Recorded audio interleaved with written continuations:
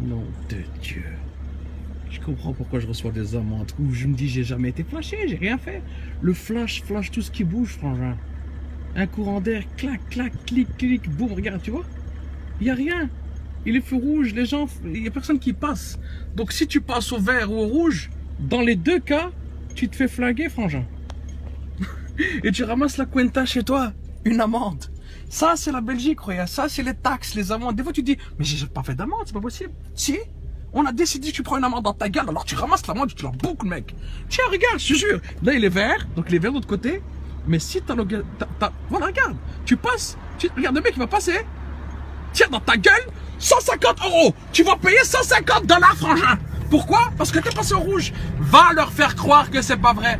Va leur expliquer que le, le- le flash pète un câble tout seul. Après minuit, il déconne. Va leur expliquer ça.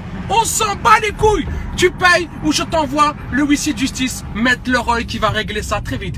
Et t'as intérêt de payer parce que tes 150 ou 180 euros vont devenir 250, 450, 550 et après ça va te coûter le prix de ton plasma. C'est ça la vie, mec. Welcome to Belgium, baby. C'est ça.